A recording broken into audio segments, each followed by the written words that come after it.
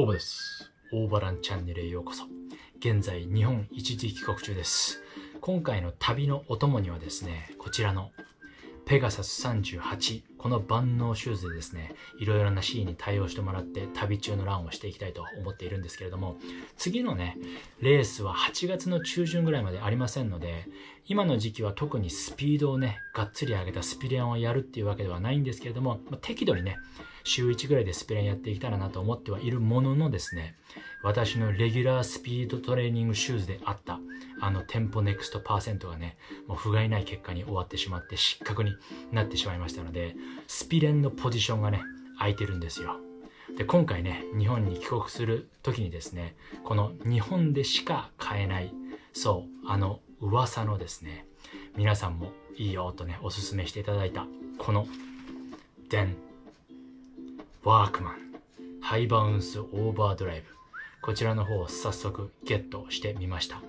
もう発売して2ヶ月ぐらい経つんですよね。もうすでにねたくさんの方がレビューを上げています。まあ2ヶ月遅れのレビューということになるんですけれどもそれにしても私がこの発売2ヶ月目の靴を購入してレビューするっていうのはなかなかありませんのでね新鮮ですよね。でこの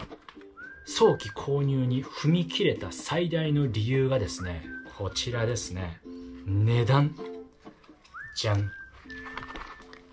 ご存知。2900円税込み。この値段ね。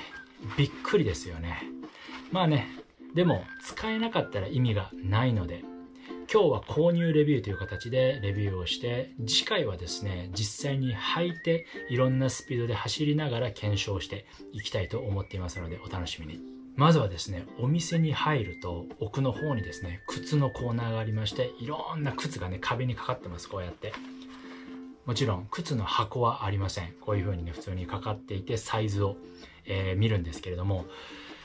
近くのね3店舗ぐらいに電話をして在庫を確認したところね私の25.5から27の間の在庫がですねある店が全然なくてですねかろうじて1店舗だけ26センチがあったと。いうことでですねそちらの店に行きました。でまずはですねこのサイズ感ですよね。レビューで見ていくとですねだいたい1センチ下げてぐらいが一番ちょうどいいよなんていうね、え声をたくさん、え伺いましたので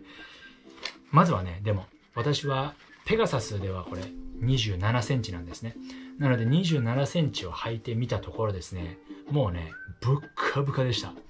全然もうゆとりなんてもんじゃないブカブカさでこれはあかんということでちょっとね26センチも履いてえー見ることができてこちらの方がね合っているということで26にしました。25.5だとちょっとちっちゃかった。そして26.5でもちょっとでかかった。ので、まあ、26気持ちもうちょっと小さい方がねいいかと思うんですが私に合うサイズはどうやら26センチ。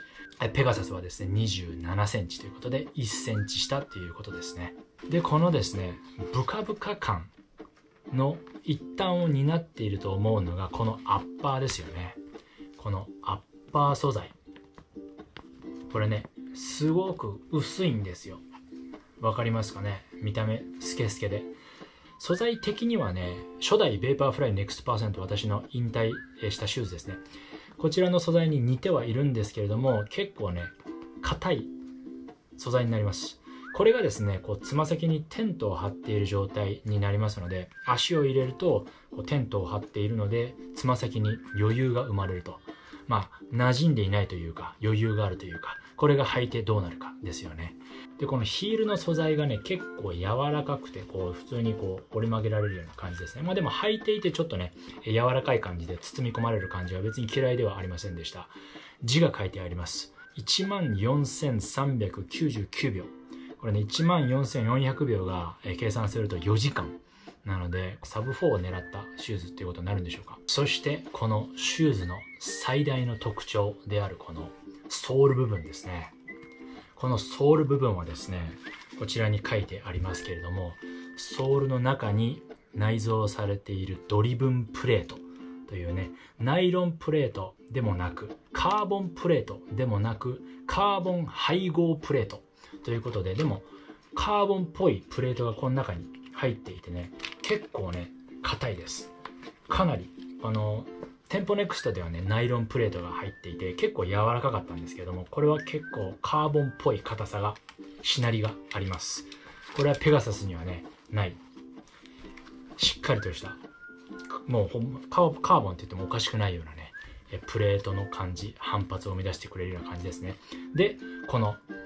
ワークマン独自の分子レベルから作ったというこのバウンステック。こちらも結構柔らかい感じでバウンシーな感覚を与えてくれるんではないでしょうか。そして足を通して立った時にまず最初に感じたのは違和感です。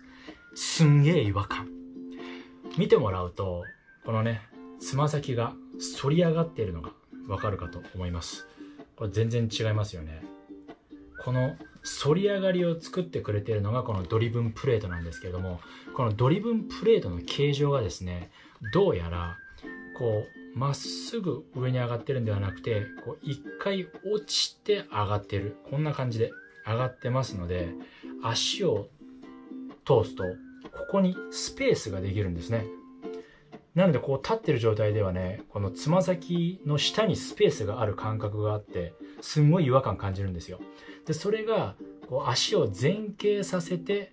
こうフォアフットのような感じで踏み込もうとするとこれがスペースが埋まるという感じですねでここからボンとね行くような感覚になるんでしょうかねこれで走るっていうこの感覚はね初めてだったので非常に違和感があってですね走った時にどうなるかっていうのを非常に興味をそそられます。この後ね、走ってみてね、この辺のことを検証してみたいと思います。で、最後ですね、こちらのソール。このね、一番のこのラバーの部分ですよね。私にとってはね、かなり重要なポイントで。というのも私、この外側部分がね、すごい早い段階ですり減ってしまいますので、結構ここ大事なんですけれども、見た感じですね、結構薄いんですよね。薄い、まあ、ゴムがペタンと貼ってあるだけというような感じなのでガシガシスピレンで使った場合に結構早くダメになってしまうのかなというような感じなんですけれども実際にどうなるんでしょうかまあただですね値段が2900円ということでもちろんこれでね店舗ネクストに取って変わる靴になるようであれば万々歳ですよね、まあ、ただあんまりスピレンには使えず、まあ、ジョグで使えるなっていうぐらいだったらまあ OK かなと。ただこれね全く履けずに足に合わなくてもう履きすらできないっていうことになったらこれはダメですよね。このお金の使い方は一番怒られるパターンです。なのでどうにかね、えー、いい感じで履ければいいなとは思いますのでこれからこのワークマンバウンステックオーバードライブを履いていろんなシチュエーションで走ってみたいなと思っていますので次回の動画をお楽しみに。それでは。